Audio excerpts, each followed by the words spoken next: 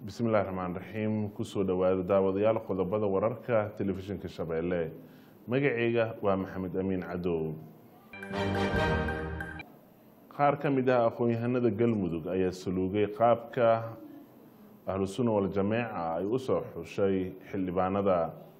Arrintan ay sheegeen aqoon-yahanada inay abuuri karto khilaaf hor leh oo ka dhex abuurma beelaha wadadega gobolkaasi. Baarlamaanka soomaaliya ayaa maanta meelmariyey hindisi sharciyeed. Ay hore u soo celiyeen aqalka sare. Shuruucdaasi ayaa kala ah sharciga maareynta maaliyadda iyo sharciga shirkadaha dadweynaha ku nool magaalada afgooye ayay soo wajaheen xaalado adag oo ka dhashay fatahaad halkaasi ka jirta oo keentay inuu xumaado isu socodka. Ilaa iyo haatan ma jirto cid gacan ka geysatay sidii xaaladaasi wax looga qaban lahaa iyadoo dadka halkaasi ku nool ay sheegayaan inay haysato dhibaato u baahan in laga gacan siiyo. Ardayda wax ka barata jaamacadaha muqdisho iyo dalka intiisa kale ayaa inta badan xusha barashada maadooyin aan ahayn kuwa leh xirfadaha shaqooyinka gacanta maadooyinka ay ugu horeeyaan public administration ayaa inta badan waxaa lagu bartaa jaamacadaha xilligan waxayna dadka qaar sheegeen in xilligan barashada maadooyinka ay yihiin kuwo aan lahayn fursado fiican oo shaqooyin lagu heli karo.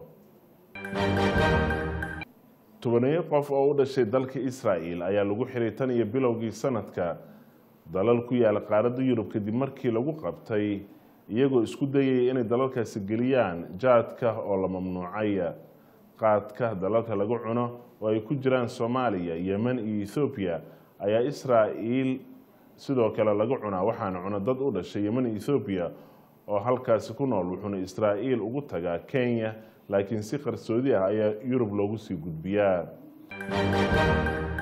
akhbaaraadka dibadda ee aadhinaheenana waxaa ka mid ah kooxo la tuhunsan yahay inay yihiin mintidiin islaami ah.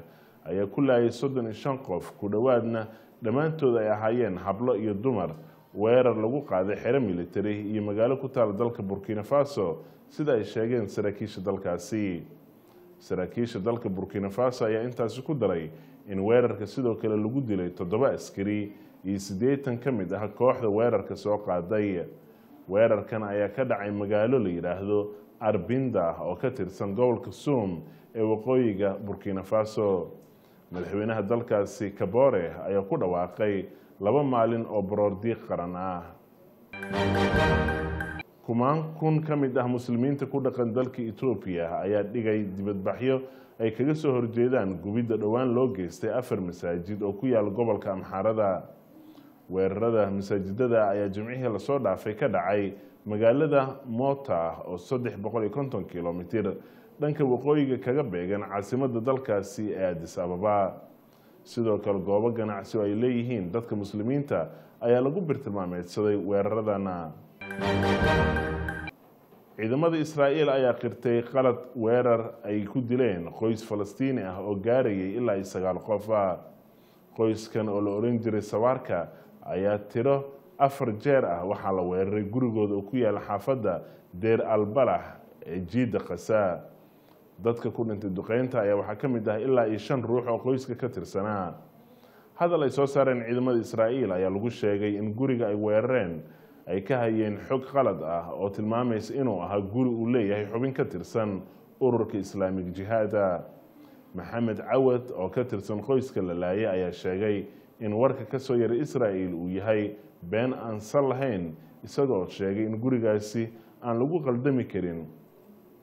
Oo reerka lahaa ay ahaayeen shacab xoolo dhaqato ah oo aan xiriir la lahayn ururada hubaysan sida ururka islaamig jihaada waa tahay daawadayaal qodobada warka ee shabeelle halka maanta aynoo joogeen iyadoo warkani oo dhammaystiran aad sidoo kale ka daawan doontaan telefishinka hadduu ilaah yidhaahdo